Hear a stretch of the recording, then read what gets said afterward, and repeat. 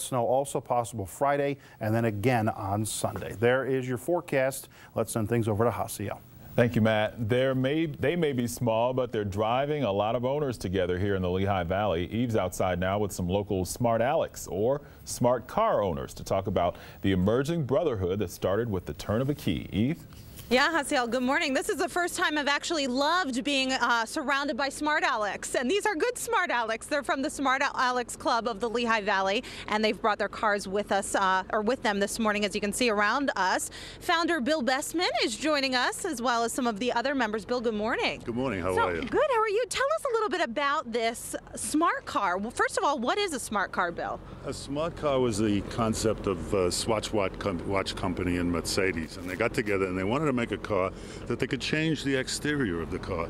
So Rick and I could switch cars the outside of the cars on a Saturday afternoon. Oh, okay. You can just, just swap. It's like borrowing a shirt or a sweater. Sure. Us girls can relate to that. If you're tired of yellow, you can go to blue or red. Well, very cool. And it actually stands for something. Smart stands for something, Smart right? stands for Swatch Mercedes Art.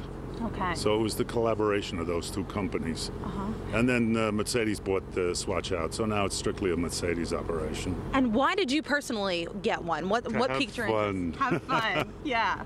Tell us if you would. Would you take us on a little tour, sure, Bill, and tell us some of the benefits of this smart the car? Is down on this, and if you notice, it's really very deceptive because the inside of this, if you sit in there, go sit inside. Okay. Well, and Bill, I don't want to. It's so no? clean, and I have dirty feet. Oh, that's what do you think? Don't, don't, well, we'll just peek in.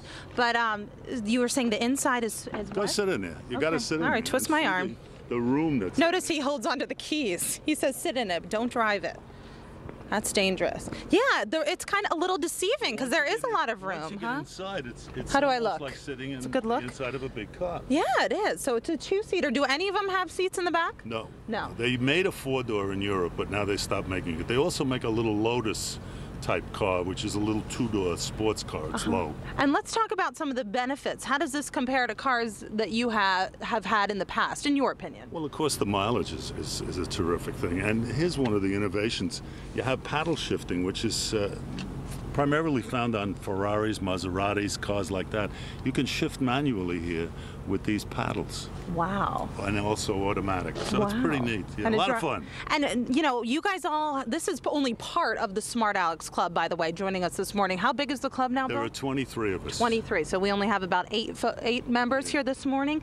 And uh, how long is the wait to get one? They're still in high demand. Probably around a year now. Wow. Yeah. And you're you're sitting in a very unique car because they don't make yellow anymore. Oh, okay. We have real collector items. and what another interesting fact is that it, it doesn't take long to make these cars, right? It takes five hours as compared to a car that's made in Detroit that takes about 25 hours. But you can see it's much smaller, so. Wow. And with the panels going on, and, and it's a brand new factory, so that that aids them. And it rides pretty well. It's terrific, sure. It's a lot of fun, and everybody stops you and asks you what it is, and is it electric, is it hydrogen, you know. So it's a lot of fun. I got it to have fun. Okay, and we should mention you do put gas in it, so Yes. but it, you don't have to put that much, huh? It's gas powered. Uh, the book claims 40 to 46. Um, one of our members got uh, over 50. He Wow. got 52 when we went down to Shady Maple in Lancaster for our cruise. Wow. Well, not only is the the car uh, exciting, so is the Smart Alecs Club, uh, which of course is bringing men and women together all over the Lehigh Valley. And coming up in just a few minutes, we'll talk about how these smart cars brought this group together that's growing by leaps and bounds here in the Lehigh Valley and across the country. That's coming up in just a matter of minutes. Stay with us.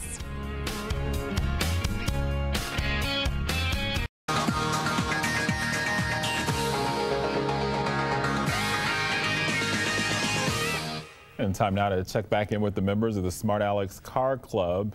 Eve, you looked pretty good in that yellow car earlier. Hey, thanks. It's cute, huh? Yeah, we're we're talking about the uh, smart car craze here this morning, and I'm joined by some of my favorite Smart Alecs. These are members of the Smart Alecs Club of the Lehigh Valley. Only some of the 20 plus members, right, Bill? 23 members. 23 sure. members. And how quickly has this club grown? We started, uh, I'd say, in September.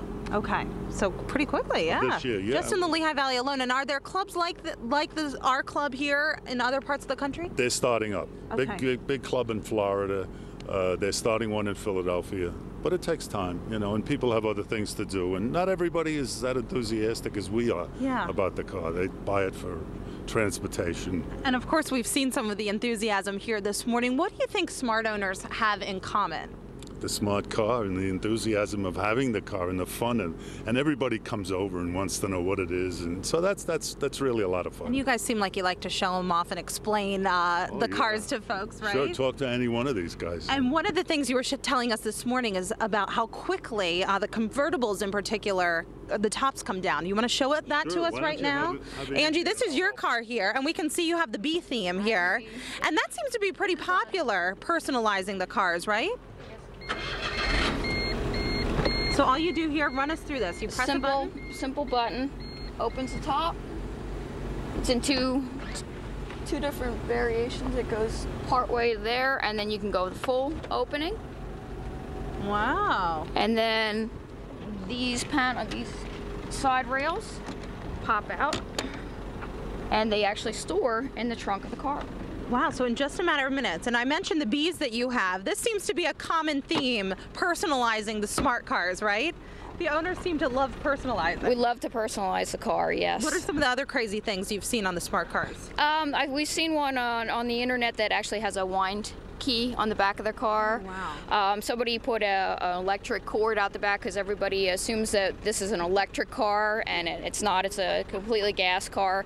Um, so we, we do get all those kind of different personalizations. I have uh, Be Smart on the back of mine, and I did all the graphics on my car myself. So. And how about you, Angie? Why do you think people are going smart car crazy, it seems, at least in our area? Gas when the gas prices were up. Uh, I mean, this was incredible when they, everybody stopping me at the gas station to say, you know, how many miles to the gallon you get, and I average about 43. So.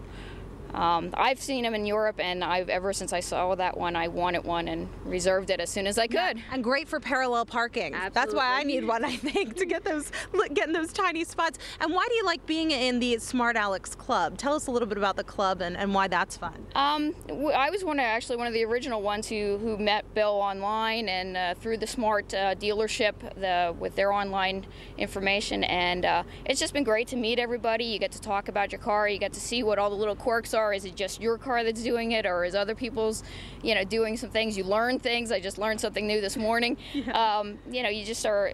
They're just great people, and we're actually meeting people from New York City, from uh, York, and So it seems like a family. it is. It really is, Yeah. and and we get to eat too. Okay, so tell us tell us about some of the things you guys do. I know you have regular rides, like motorcycle rides. You guys have smart car rides, right? yes, we do, and we get a lot of attention. Uh, a lot of people, you know, turning heads, especially when there's like eight or twelve of us running down the road together, because uh, that's very odd to see one, and then let alone that many. Uh-huh. Um, so You mentioned eating, so are there some gatherings involved? Yes, we were just Love at Shady that. Maple on Saturday uh, in, in Lancaster, and uh, uh, we plan to do some outdoor things again this summer, and uh, and some other great get-togethers. Go to New York City is uh, a trip we're trying to plan, and and various other events. So. Great. Well, it seems like a lot of fun. And if you want to find out more about the Smart Alecs Club, you can find them on Yahoo searches. So their website, we're told, is going to be up and running soon.